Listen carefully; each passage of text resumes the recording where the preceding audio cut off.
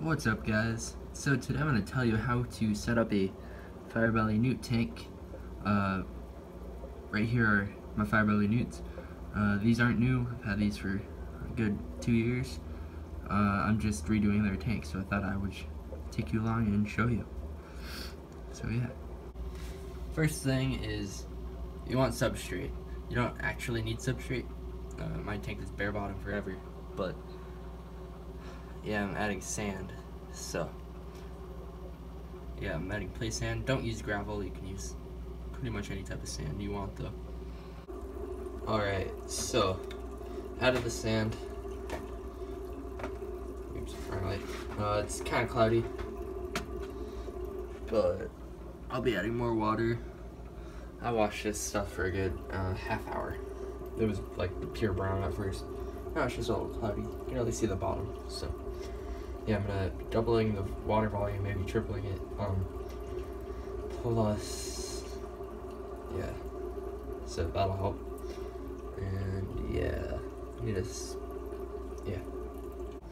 Okay, so the water is pretty damn cloudy, but I'm gonna start adding the plants and then the uh, hides and stuff. Uh, for Firebelly newts, you want a lot of plants uh, more than I have.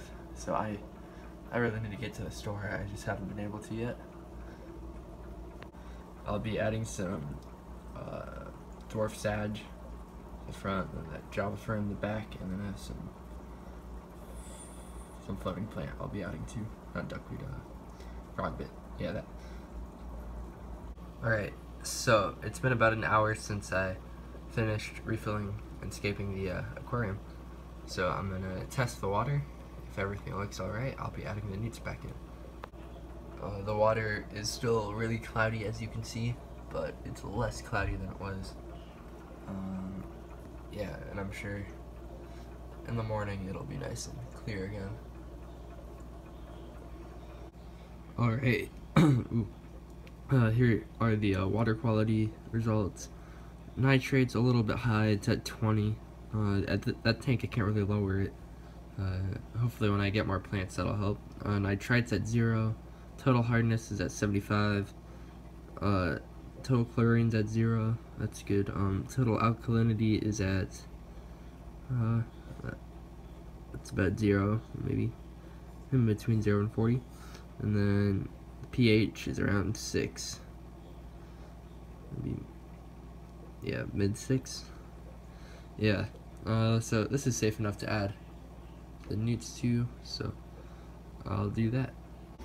Alright, I apologize for how dark it is, but uh, I don't have the lid on the tank, so I can't have the lights on. Uh, so yeah, I'll show you how I put the uh, newts into the water. Um, I don't float them like fish. I do if they're fully aquatic, like an axolotl, but if they're semi-aquatic, I just put them on the land, they walk in.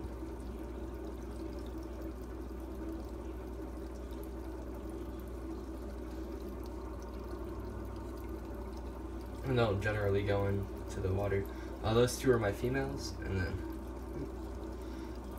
this last one is, I can grab him here. This guy is my male.